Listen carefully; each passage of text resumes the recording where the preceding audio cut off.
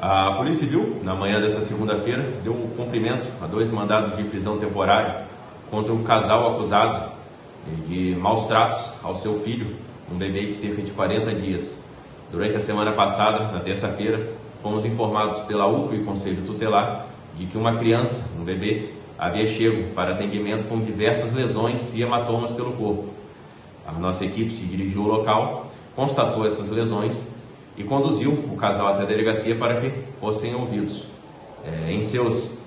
em suas declarações, negaram é, qualquer tipo de agressão a essa criança, contudo, não sabendo explicar de onde teriam aparecido esses hematomas e lesões, sendo eles os únicos é, responsáveis e moradores da mesma residência desse bebê.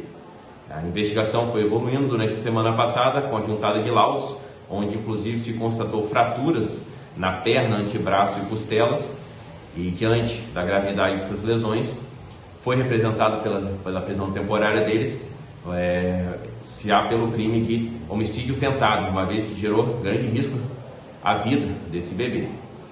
Com todos esses elementos, foi concedido pelo Judiciário um mandado de prisão temporária, que foi cumprido hoje, e agora o nosso inquérito policial é, continuará durante esses 30 dias para que a gente possa finalizar juntando o máximo de elementos possíveis para que ao final possa indiciar esse casal e até mesmo delimitar a autoria de cada um nesses fatos. O inquérito policial agora terá 30 dias para ser concluído e esse casal ficando à disposição da Justiça.